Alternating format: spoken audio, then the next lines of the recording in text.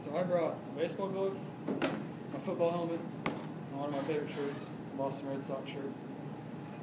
Alright. So my baseball glove is something that helps me get through all my hard times when I'm down or something, just not feeling good, just want to go out, play, catch some friends, go out and play some baseball. Uh, been playing baseball for as long as I know. Something me and my dad connect to, and that's one way I remember being around him and all these things. And, and then my football helmet. Another good thing to connect to with my grandpa. He uh, passed away a couple years ago with brain cancer, and me and him were doing all the football fanatics in our family.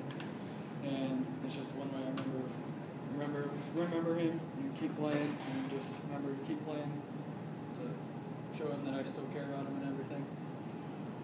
And then the Red Sox baseball shirt. And I brought this because everyone likes to say I'm a bandwagon. But I'm pretty sure I've liked the Red Sox since like third grade. And to show them, I brought this shirt that I've had for about three or four years now. And everyone calls me bandwagon around the school because I wear Red Sox stuff because they won the World Series two last year, something like that. Two last year, three years last year, I'm pretty sure, 2018. Yeah. And that's just you know, proof that I'm not a bandwagon.